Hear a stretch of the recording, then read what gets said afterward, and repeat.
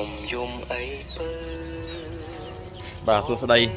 បាទថ្ងៃនេះយើងរៀបចំមេជូនអតិថិជនទៀតហើយធ្លាប់នៅក្លំក្បែរកាយ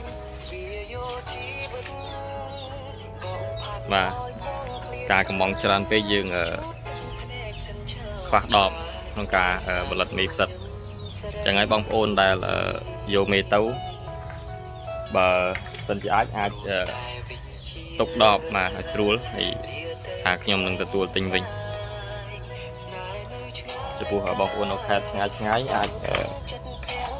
យកទុកក៏បានដែរពេលណាខ្ញុំដឹកកញ្ចប់ផ្សិតទៅខ្ញុំនឹងអឺចូលទៅយកចឹងហើយបើដបអឺពេលខ្លះបងប្អូនគាត់យកទៅអឺទុកចោលពីលបងឬក៏គាត់ប្របែកដំប្របែកកប់ដីឥឡូវអឺយើងមានអឺការទទួលទិញវិញបាទដើម្បីអឺ យកមកកុំឲ្យពិបាកយើងយកចេញពីថៃឥឡូវអឺខ្ញុំយកដតចេញពីថៃច្រើន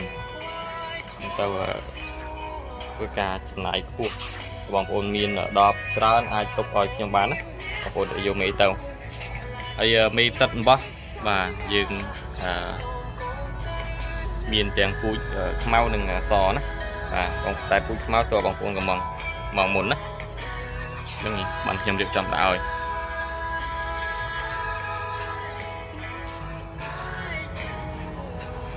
ហើយអានេះយើងរៀបចំទៅអឺ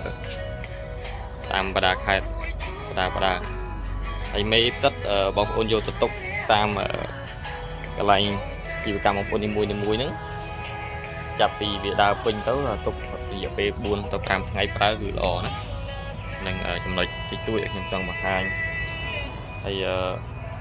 យើងដល់ភ្លាមស្ពណ៌ដល់ក្រោមភ្លាមយើងកាយភ្លាមនឹងវាមិនសល់កម្លាំងណា